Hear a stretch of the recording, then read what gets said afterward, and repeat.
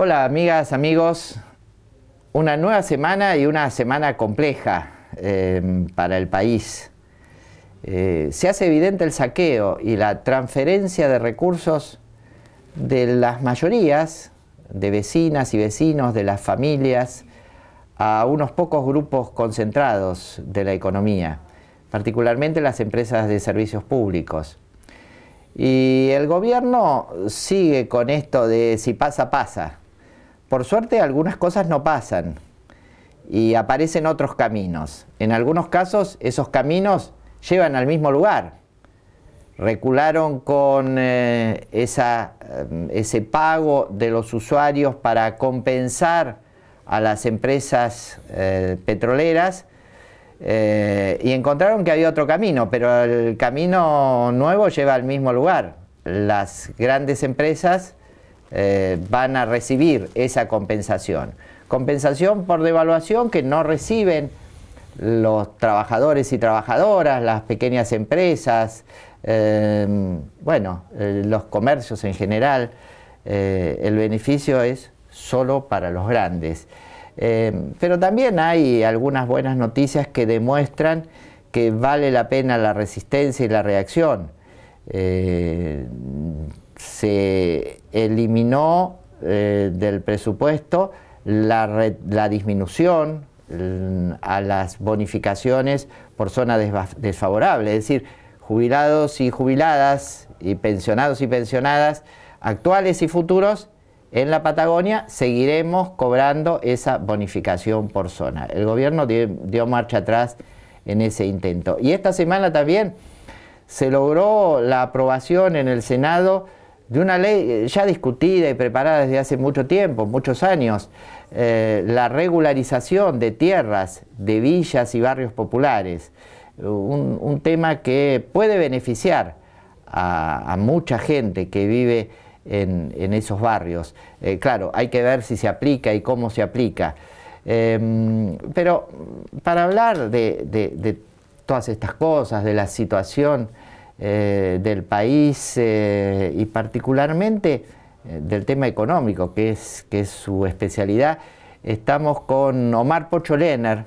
Gracias, Pocho, por venir. Pocho, no hace falta presentarlo demasiado en la comarca, militante político desde siempre. Pocho, fuiste ministro de Economía, estuviste en el Banco de la provincia de Río Negro en épocas en que teníamos banco en la provincia. Banco, por suerte. Este, eh, pasaron muchas cosas desde aquella época. Vos seguís vinculado eh, y atento a lo que pasa en, Argentina eh, y en nuestra provincia. ¿Cómo ves la cosa? Bueno, primero saludo entonces a toda la audiencia. Es la primera vez que vengo a MTV y lo felicito por este emprendimiento. Gracias.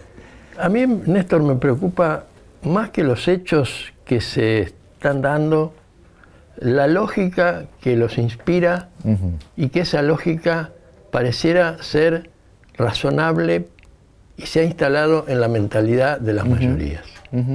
Cuando Macri dice, por ejemplo, las cosas valen tanto y hay que pagarlas, porque si no, las vamos a pagar después o si no va a pasar esta cosa. Y la gente piensa, y es cierto, si una cosa vale tanto hay que pagarla tanto. Y eso es una mentira. Es una mentira. Los servicios públicos, en los países que nosotros admiramos por su eficiencia, por su desarrollo, subsidian esas cosas. Y las subsidian enormemente. Entonces, no es que las cosas hay que pagarlas lo que valen, sino que hay cosas que el Estado quiere que sean eh, consumidas, utilizadas por la ciudadanía y porque además tienen un sentido de promoción, por ejemplo, de la, actividad industrial. Claro. Es decir, si yo abarato con una ayuda del Estado los consumos energéticos, la electricidad, el gas, los combustibles, genero posibilidades, condiciones para que la industria, el comercio, la actividad, la agricultura se desarrollen y eso me genera a mí una recuperación de lo que yo estoy poniendo. Claro, pero además es, un piso básico desde el cual eh, todos tienen eh, los, mm, los, servicios necesarios para desarrollar su vida en comunidad. Exacto. Y, y, obviamente, entonces tienen también un sentido social. Es decir, no es que todo lo que uno tiene que consumir lo tiene que pagar, porque hay cosas que les... Porque si no tendría que estar, uno tendría que pagar cada vez que va al hospital, cada vez que va a la escuela y cada vez que camina por una calle porque la municipalidad la hizo y yo la estoy gastando. Este, es que para, para quienes nos gobiernan y quizá para un buen número de gente, eh, se, se, confunde eh, valor con precio, ¿no? Claro. Eh, todo, lo que, todo lo que vale tiene precio y en precio monetario. Claro, pero además el Estado no debe interferir en el libre juego de la demanda y la oferta y en, el mercado. Y, eso no es así, porque si el Estado no interviene, no desestimula algunas actividades nocivas y consumos nocivos. Yo digo, para mí la publicidad es un arma terrible de penetración y de distorsión de nuestras eh, de, lo que debiera ser nuestra forma de vida y nuestras expectativas de consumo, de vida, de no sé, de, proceder en, el mundo. Porque nos, eh, nos inculca el individualismo, nos inculca eh, la ostentación, los consumos inútiles y hasta los nocivos. Permanente. claro. En ese mismo, en ese mismo orden está el tema este del 40% de la zona patagónica, que para mí desde los dos lados se está analizando mal. El Estado dice, no, este es un gasto, un privilegio. Los, y los eh, que estamos beneficiados o que recibimos esa bonificación, decimos, no, este es un derecho y acá las cosas son más caras. Y lo que hay en realidad en esto es una decisión política que viene de atrás, de decir yo quiero desarrollar, yo quiero incentivar el poblamiento de una región que es vastísima, que está muy despoblada, que tiene enorme cantidad de recursos, y quiero que la gente que se comprometa a trabajar en, e, ese lugar tenga condiciones diferentes para que eso se desarrolle. Y esto no, es, porque, no es un privilegio, porque si alguien que vive en Corrientes y Esmeralda quiere tener ese privilegio, que se venga a Viedma y lo va a tener. Es decir, no es un privilegio. Claro. Eh, Pocho, coincidimos esta mentalidad individualista de competencia, de solo pensar en el lucro económico, es el problema de fondo. Ahora, eh, la situación que hoy vivimos como país y, el camino este que para Macri es el único camino, eh, económicamente, ¿a qué nos lleva? Porque lo que quienes no entendemos de economía pensamos, esto es un desastre. Eh, tasas de interés del 70 y pico por ciento. el valor de la moneda en pocos meses devaluada en un 100 por ciento. El endeudamiento externo que es cada vez mayor. ¿Hay alguna posibilidad desde la lógica económica, incluso con la mentalidad de ellos? ¿Se puede salir? Yo creo que es imposible. ¿no? Este camino conduce a una profundización de la crisis que no se sabe en qué puede llegar a terminar. Pero acá yo no sé si no hay estrategias eh, extranacionales que lo que tratan es precisamente de eso, porque ya no, ya no conviene este, mandar 25 eh, acorazados, unos cuantos torpederos y, unos aviones este, a bombardear un país, porque después lo tenés que reconstruir. Mejor es, quedártelo a través de mecanismos económicos. Claro.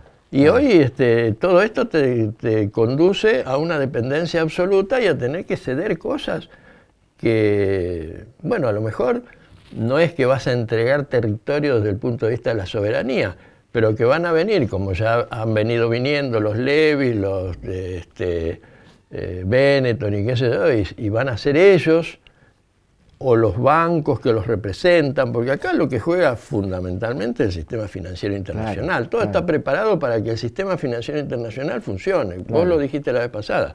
El Fondo Monetario Internacional no tiene por objetivo salvar las situaciones económicas de los países. Lo que tiene por objetivo es mantener el equilibrio del sistema financiero internacional, es decir, garantizarle a los bancos y a las entidades financieras que siempre van a tener utilidades extraordinarias. Claro. Vamos a una cosa, a las cosas más cotidianas. Vos como contador en tu profesión entiendo estás en contacto con comercios, con empresas pequeñas, porque no mucho, no mucho. No, yo pero atiendo sindicatos y mutuales. Bueno, pero, pero, pero ¿cómo ves el movimiento económico así en lo cotidiano en nuestra zona? No, y se ve, además se ve en la calle. yo al lado de mi estudio tengo dos o tres locales que ya cerraron. Y uno lo ve, es decir, evidentemente hay dificultades para el desenvolvimiento de las pequeñas empresas, porque además hay un avance muy importante de los organismos de, recaudación, tanto nacional como provincial. A mí me llamó la atención, este, yo voy a tribunales con frecuencia porque tengo actividad como síndico de quiebras y de concursos, y las listas hoy este, tienen una, um, un porcentaje elevadísimo de juicios de las financieras, que son ejecuciones, ejecuciones, ejecuciones, página entera, y ahora de la Agencia de Recaudación Tributaria. Es decir, están ejecutando desde, desde, la Dirección de Renta a cantidad enorme de contribuyentes, porque han automatizado el sistema. Eh, llega, llega la notificación, llega la otra notificación, no, te no respondiste, directamente, automáticamente sale el juicio. Sí, además eh, la, relación con el fisco es cada vez más complicada. Este, sí, no, es terrible. Este, bueno, un beneficio para los contadores, porque si no, si, no hay un contador en el medio es dificilísimo. Tampoco, a nosotros se nos hace fácil. Pocho, a pesar de todo, eh, vale la pena seguir peleando. Digo, sí, terminemos obviamente, yo creo que hay que mantener, por lo menos en la conciencia de la gente, del pueblo, la idea de que esto tiene que terminar y que tiene que haber un cambio. Ahora, ¿quién puede ejecutar una política diferente, que la haya expuesto, que, la haya, eh, que se vea en, las propuestas políticas? No hay, porque hoy los, eh, las noticias políticas son, son noticias de si fulano arregló con el otro, o si se pasaron de una alianza a la otra alianza, o cómo, cómo hicieron los, acuerdos más bien electorales, pero yo no he, yo no he encontrado ninguna, ningún desarrollo de una propuesta política para el, futuro del país, que abarque todas las áreas que son de importancia que el sector público tenga como objetivos. ¿no? Bueno, en todo caso eso es un tema discutible, debatible y, en todo caso a construir, ¿no? Desde luego, sí. Un desafío, el desafío que nos queda, construir eh, una unidad, aunque sea para enfrentar este, este modelo de exclusión y de privilegio para unos Sí, yo creo que hoy la, la misión, y yo no soy este religioso, ¿no? Así que este, este término tiene otra, otra connotación, se ubica en otro plano. Yo creo que hoy la misión que tenemos aquellos que queremos un cambio real en el país, que vuelva a recuperarse los valores cívicos, que vuelva a recuperarse el estatus social que era igualitario, es predicar. Tenemos que salir a predicar. Gracias, Pocho. No, por favor. Amigas, amigos, nos encontramos la próxima semana. Compartíamos algunos conceptos que dejó Omar Pocho Lenner en su visita a los estudios de NTV y en este diálogo que mantuvo con nuestro compañero Néstor Buzo analizando la actualidad política de nuestra ciudad, de la provincia y del país también. Y de esta manera cerramos el resaltador de esta semana. Nos vamos a volver a encontrar, por supuesto, la próxima semana para volver a hacer un repaso de los principales hechos de los últimos días y compartir una extensa entrevista eh, siendo específicos en algunas cuestiones que hacen a nuestra actualidad. Que tengan un excelente fin de la jornada. Nos reencontramos la semana próxima.